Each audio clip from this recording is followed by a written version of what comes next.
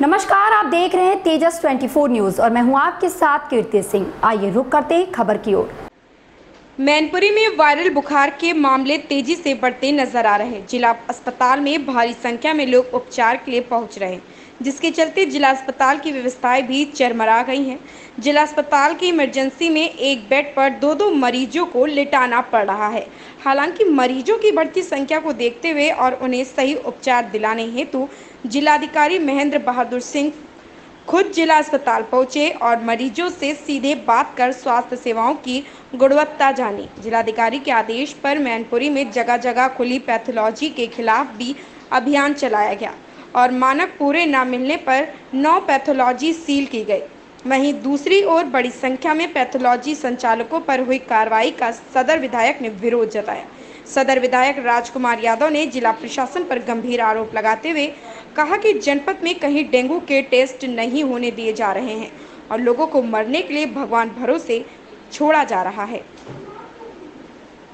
क्या कुछ देखने को मिल रहा है? मैं पिछले लगभग एक माह से लगातार अस्पताल आ रहा हूँ ताकि मरीजों को जो स्वास्थ्य सेवाएँ हैं वो समय से मिल सकें किसी कोई भी समस्या हो अपनी समस्या बता सके और हम मरीजों को सही समय पर सही इलाज देकर उनको घर भेज सकें। सर वायरल बुखार के भी कई मामले थोड़ा सा प्रकाश में आए थे हाल में तो किस तरीके के आपकी तरफ़ से निर्देश दिए गए हैं स्वास्थ्य विभाग को?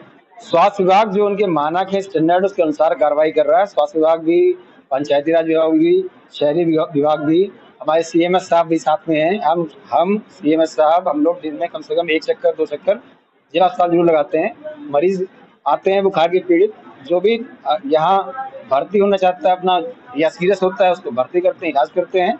और जब वो ठीक हो जाते हैं तो अपने अपने घर चले जाते हैं। कई पैथोलॉजी से गलत रिपोर्ट दिए जाने की सूचना थी, कई पैथोलॉजी सील भी की गई है। क्या मैसेज देना चाहेंगे आप लोगों को?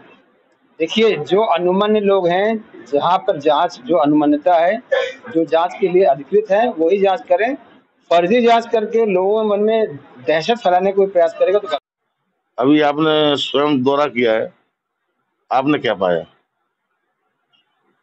आप खुद गए थे अस्पताल में। क्या कहा मरीजों ने? लगातार बहुत सारे बेड पड़े हुए हैं वायरल बुखार जो है फैला हुआ है। तो आपको क्या लगता है? आप प्रतिनिधि हैं आप लोगों से मिलते हैं क्या लगता है आपको? वायरल नहीं, डेंगू फैला हुआ है। और यहाँ के जिला अधिकारी की हर धर्मता। सारी प्राइवेट लैबों को बंद करा दिया। सरकारी अस्पताल में जाँच की सुविधा भरपूर नहीं है। जब मरीज़ की रिपोर्ट ही नहीं मिलेगी, जब डायग्नोज ही नहीं कर पाएँगे डॉक्टर कि डेंगू है या कोई वायरल है या कोई और दूसरा बुखार है तो प्रॉपर ट्रीटमेंट कैसे मिलेगा? जिलाधिकारी अपना नंबर बढ़ाने के लिए शासन में।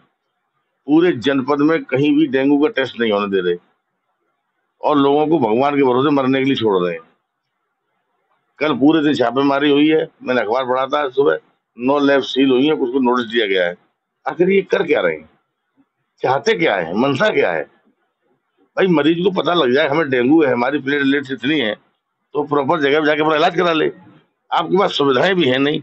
और जो टेस्ट हो रहे हैं, उनको आप रोक रहे हैं। और मुझे तो ये लग रहा है कि वो, अ, मुख्यमंत्री योगी जी का निर्देश है कि जाँच न हो। ताकि जनप्रतिनिधि हैं आप आपकी तरफ़ से क्या प्रयास किए जा रहे हैं?